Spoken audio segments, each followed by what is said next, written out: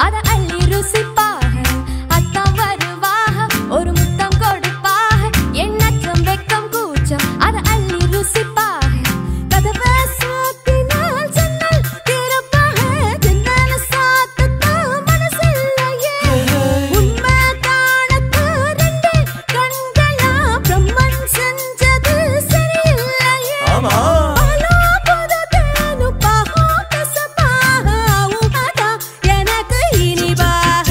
cha cha